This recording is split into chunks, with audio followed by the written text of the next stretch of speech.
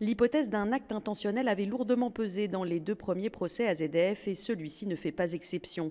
Derrière des débats parfois vifs, une seule question, la piste terroriste a-t-elle été négligée par les enquêteurs? Interrogé durant trois heures, Roger Marion, directeur central adjoint de la police judiciaire à l'époque, a défendu l'enquête toulousaine. L'explosion d'AZF a lieu dix jours après les attentats de New York. Il est évident que nous avons pris la mesure de l'événement, a-t-il déclaré.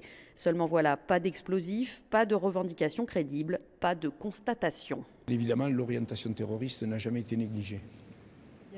Mais jamais matérialisée non plus.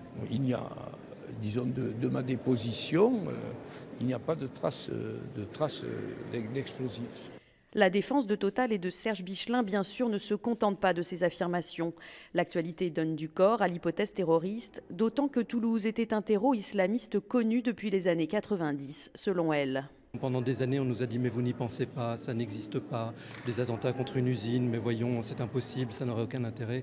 Euh, des islamistes à Toulouse, allons donc, vous rêvez.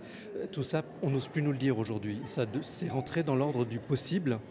Et nous, on n'est que là-dedans, on n'est que dans la conviction que c'est peut-être quelque chose qui a pu arriver. On ne, on ne sait pas si c'est ça qui s'est passé. Moi, je suis chimiste, c'est mon métier l'hypothèse chimique, celle qui est donnée, celle qui est présentée, elle ne tient pas la route. Donc à partir de là, ben, on cherche ce qui a pu se passer.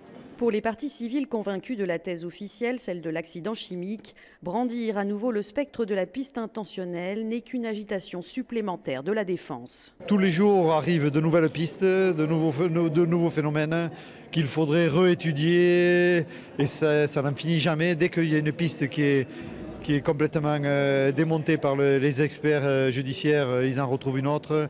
La Cour d'appel de Paris entend actuellement l'ex-juge antiterroriste Jean-Louis Bruguière qui a répété que Toulouse était en 2001 confronté à la menace islamiste. Le spécialiste de l'islam Gilles Kepel lui succédera à la barre. Demain, ce sera au tour de trois policiers toulousains d'apporter des informations contradictoires sur l'enquête.